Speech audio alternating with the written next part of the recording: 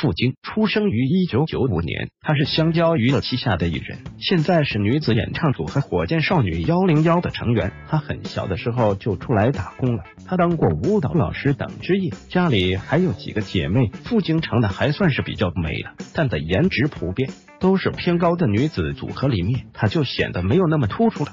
傅景他毕业于湘南学院，曾经他还在很多的节目中出现，甚至还在综艺节目《快乐大本营》的广告画面中，里面也有他的影子。傅晶是一个很坚强的女孩子，看上去很美，她的身材非常好，穿搭起来很有气质。火箭少女傅晶现身机场，穿着深蓝色吊带上衣。